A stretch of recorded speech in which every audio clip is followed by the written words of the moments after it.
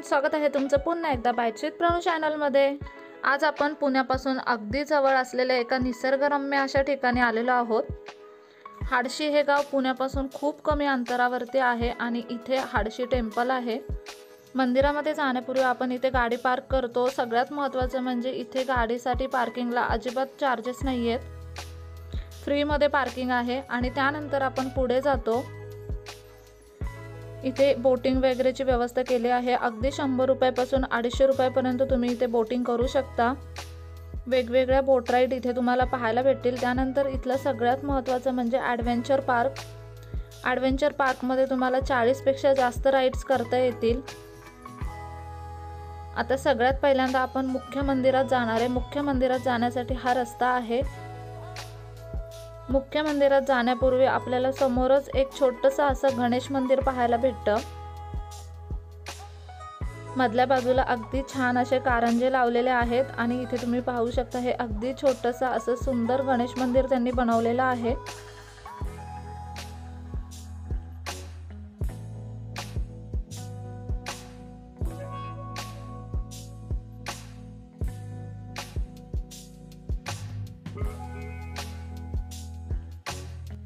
गणेश मंदिरात दर्शन घेतल्यानंतर इथूनच पुढे वरती जायला पायऱ्या आहेत. तिथून पुढे वरती गेलं की आपण मुख्य मंदिराकडे जातो. काही प्रौढ व्यक्ती असतील तर त्यांच्यासाठी बाजूने लॉनमधून सुद्धा जाण्याची व्यवस्था केलेली आहे. इथून पायऱ्या चढून आपण इथपर्यंत आलो की थेट मुख्य मंदिराच्या इथे आपण येतो.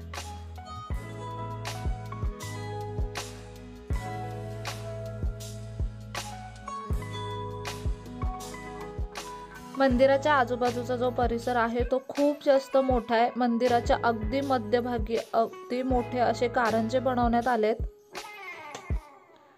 बरेचसे कारंजे आहेत आणि दोन्ही बाजूने अगदी छान छान अशा फुलांच्या कुंड्या त्यांनी लावलेल्या आहेत. इथे एक शुभ्र पांढऱ्या आकाराची मस्त अशी बैलजोडी सुद्धा ठेवली आहे. तुम्ही इथे पाहू शकता इथून जर तुम्हाला दरवाजा दिसतोय इथून आपण आतमध्ये आलो होतो.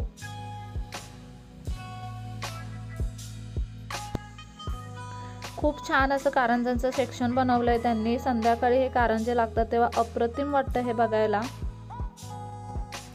इथे एक गाय आणि वासरू सुद्धा त्यांनी ठेवलेलं आहे.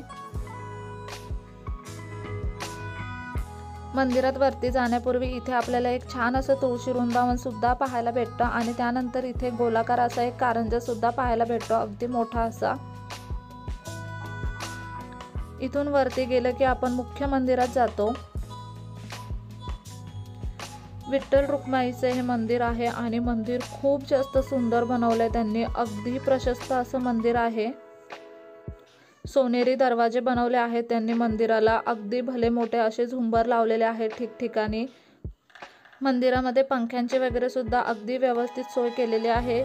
मस्त अशा खिडक्या आहेत त्याच्यामुळे सूर्यप्रकाश सुद्धा खूप छान येतो मंदिरामध्ये.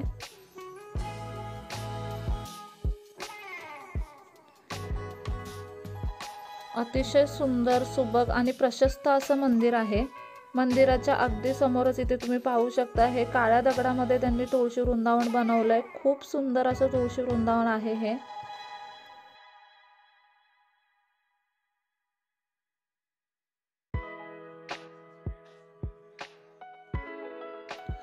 मंदिरात दर्शन घेतल्यानंतर आपण खालच्या बाजूला येतो. तर खालच्या बाजूला इथे तुम्ही पाहू शकता साईबाबांचं खूप छान असं मंदिर बनवलेलं आहे त्यांनी इथे.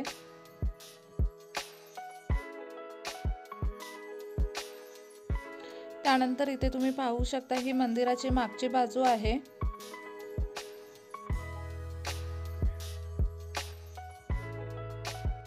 मंदिराच्या आजूबाजूला दोन अगदी मोठे मोठे लॉन आहेत. इथे पिण्याच्या पाण्याची आणि वॉशरूमची सुद्धा अगदी व्यवस्थित सोय केलेली आहे.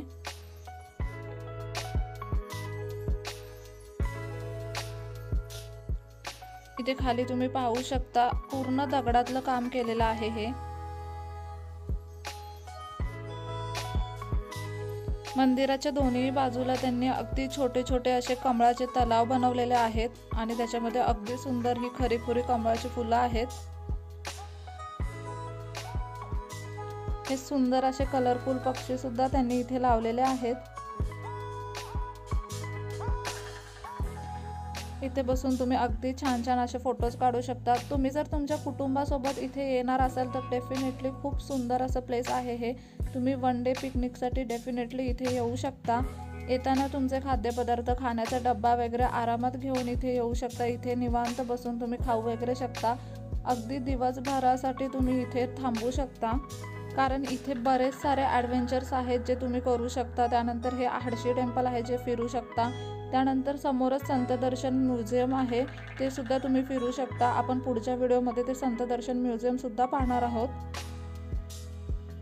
वन डे पिकनिकसाठी जर एखादा छान असं स्पॉट शोधत असाल पुण्याच्या अगदी जवळ तर एकदम बेस्ट असं प्लेस आहे हे. आता हिवाळ्यामध्ये तर अगदी आवर्जून भेट द्यावा असं हे ठिकाण आहे. इथे तुम्ही पाहू शकता मस्त अशी छोटी छोटी तळी त्यांनी बनवली आहेत कमळाच्या फुलांच्या आणि त्याच्यामध्ये फ्लेमिंगो आहेत.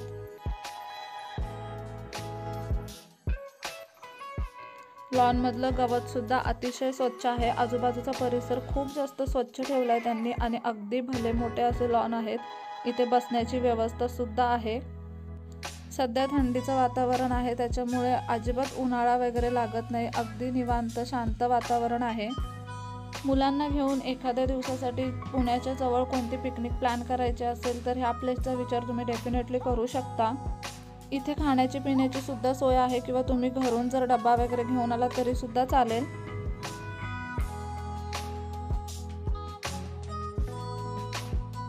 इथे मागे ना आपण आता टेम्पलमधून दर्शन घेऊन आलो. दर्शन घेतल्यावरती ना अगदी समोरच संत दर्शन म्युझियम आहे मी तुम्हाला दाखवते. आता आपल्याला तिथे जायचं आहे ते तुम्ही पार्ट टूमध्ये बघा. नाहीतर व्हिडिओ खूप मोठा होईल. इथे मंदिर आहे. अशा पद्धतीने मंदिराच्या आजूबाजूचा परिसर आहे आणि इथून समोरच अगदी संत दर्शन म्युझियम आहे. उद्याच्या एपिसोडमध्ये आपण हे संत दर्शन म्युझियम पाहणार आहोत. खूप सुंदर पाहण्यासारखं असं आहे. त्यामुळे उद्याचा व्हिडिओ पाहायला अजिबात विसरू नका. चला तर मग पुन्हा भेटूया अशाच एका नवीन व्हिडिओसोबत. तोपर्यंत मस्त खा भरपूर फिरा आणि आनंदी राहा.